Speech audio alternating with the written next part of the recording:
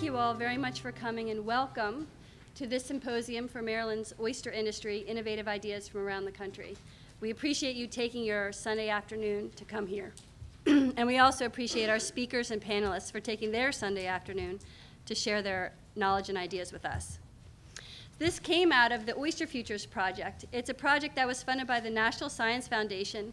And my name is Elizabeth North. I'm from the University of Maryland Center for Environmental Science, Horn Point Lab. And uh, my colleagues listed on this slide, we wrote a proposal to bring in money um, to test a process. We're testing a new approach for developing fishing regulations and restoration policies that are integrated and consensus-based, informed by the needs of major stakeholders, and guided by both stakeholder and scientific knowledge. These are stakeholders. These are the, the folks um, who have agreed to serve on the stakeholder work group to uh, test this approach with us. Their names are here listed. We have uh, six watermen, two aquaculturists, a seafood buyer, environmental groups represented, as well as uh, agencies, federal and state agencies. And the stakeholder work group is a consensus-driven group. 60% are from industry, but for an idea to move forward, the, uh, there needs to be 75% agreement, which encourages cooperation and collaboration to come up with ideas that meet the needs of all the stakeholders at the table. It, we also have uh, scientists who support the stakeholders group and we're trying to incorporate both scientific and local knowledge into this uh, process. Our stakeholders requested that we hold this symposium, and, and that's why we're doing that. So here, that's the background. Uh, this is the organization committee, and I want to uh, point out Jane Thomas. I think you all have met her coming in, and uh, she was the one who was able to help us put this together. A lot of people from our um, stakeholder group uh, helped us, Johnny Shockley, Jeff Harrison, and, so, and Cody Paul and Greg Kemp. Uh, we have the people from Oyster Futures, and importantly, Maryland Sea Grant, uh, our science communication experts here in Maryland.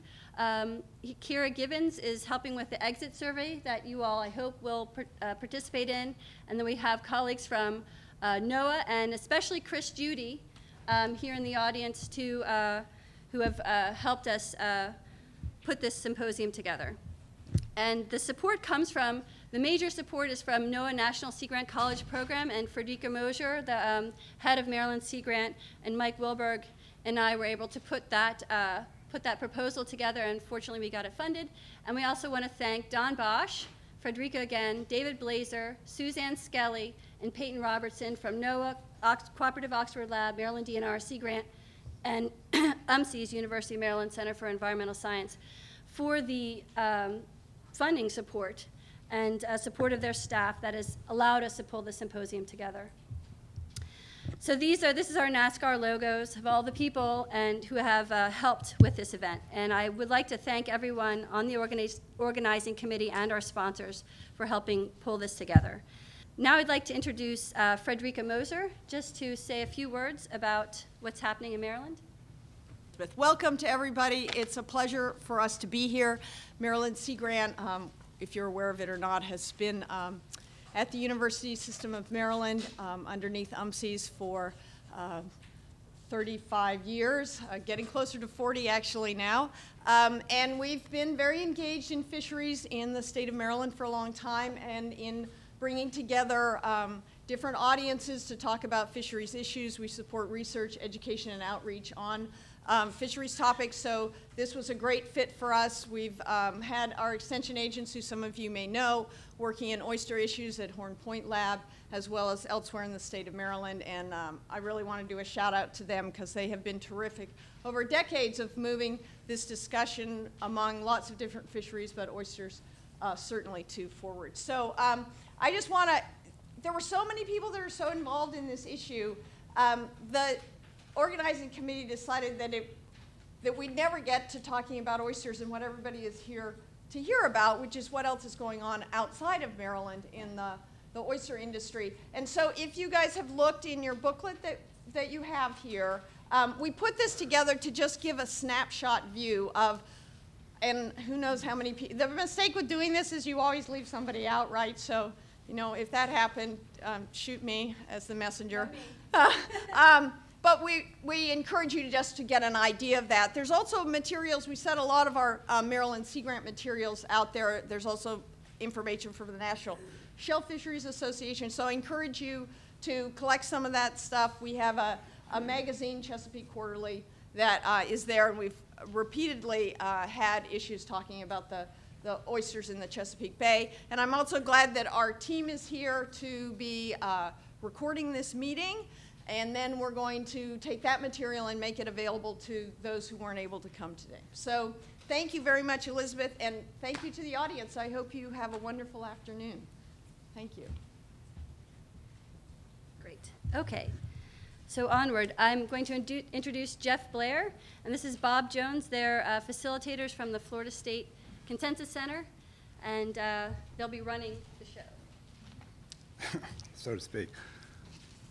Uh, welcome, everybody. So what I want to do is basically just kind of go over what we're here to do today and also put your power cord back in. A couple of, of, I'm Jeff Blair, this is Bob Jones. We work at the FCRC Consensus Center at Florida State University. Uh, and we're just here to be, to be a neutral moderator. We're also the facilitators for the Oyster Futures Work Group. And so that's sort of our connection to this process and, and with this group.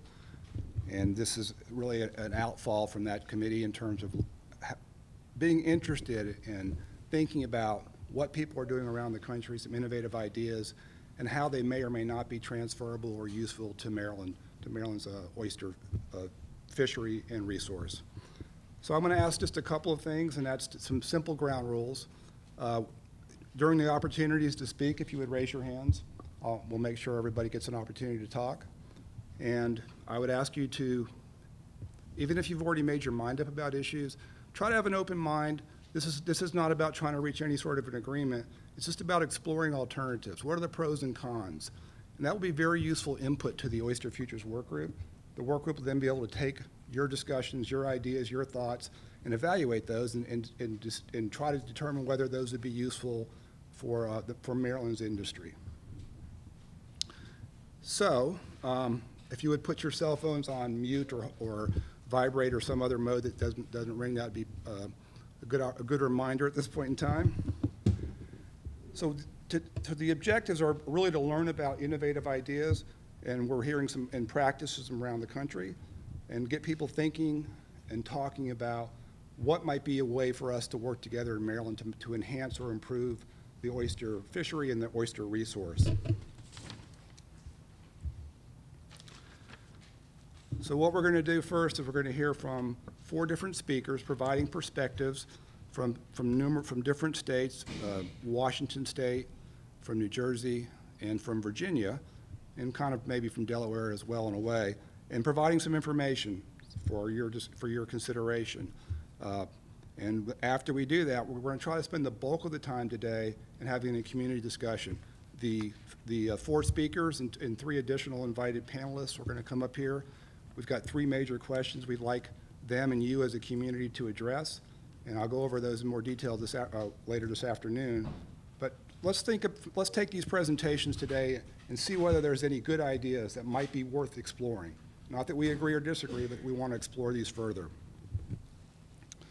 Um, We have a lot to do in a short amount of time. We're going to try to manage that as, as well as possible. We're going to hopefully have an opportunity for a couple of questions at the end of each speaker, but we're going to have a lot of time for questions and discussion this afternoon, so if you didn't get your question answered initially, we'll find time for that later.